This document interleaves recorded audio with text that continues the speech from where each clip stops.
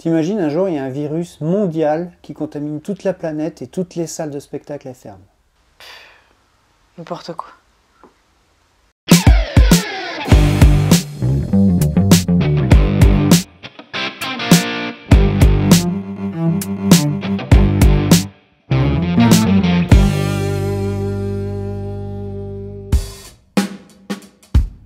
Mais en fait, on serait obligé de répéter en visio.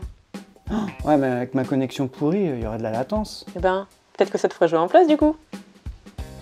Non mais sérieusement, s'ils fermaient toutes les salles de spectacle, on n'aurait plus de job nous. Déjà que pour la plupart des gens, ce qu'on fait, c'est pas du travail.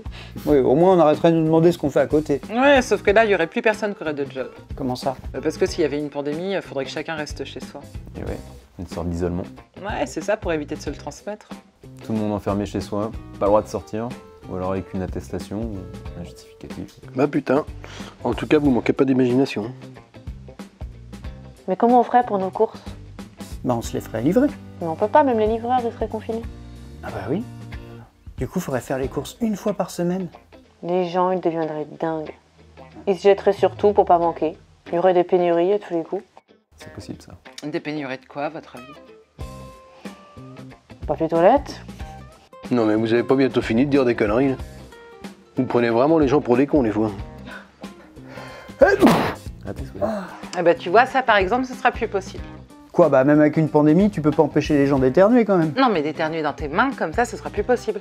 D'accord, mais tu veux que j'éternue où Dans mon slip? Non, comme ça dans ton coude. Non, ça c'est hors de question que je passe pour un con à faire un dab comme ça. Non, mais le but, c'est pas d'être élégant, c'est juste d'être safe d'un point de vue sanitaire.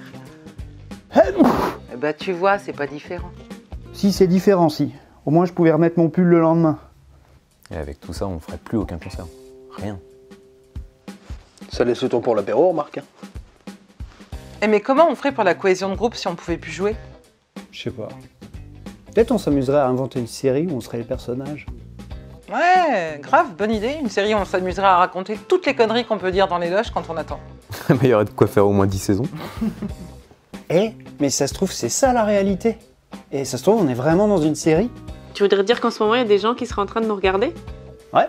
Et ils rigoleraient de nos conneries. Oui. Ouais, mais ça voudrait dire qu'on n'existe pas vraiment et puis qu'on est des personnages dans un écran. C'est ça. Comme dans Matrix. Ah, Il serait où l'écran? Que je sache regarder, moi Je sais pas, j'imagine que vu la disposition, il serait là, derrière le miroir. Ah non, je vois rien. Peut-être que l'écran est pas là. Oui, non, mais peut-être qu'on n'est pas dans une série non plus. Ou peut-être que vous pouvez fermer vos gueules. Qu'à ce rythme-là, euh, peut-être Jimi Hendrix et moi je badule les fraises. hein. À rigoler, rigoler, mais c'est pas totalement impossible. hein. De quoi? La pandémie ou le fait qu'on soit dans une série? Les deux Et ben moi, euh, je m'en ouvre une parce que, quitte à dire des conneries, autant le faire avec une petite binouse. hein.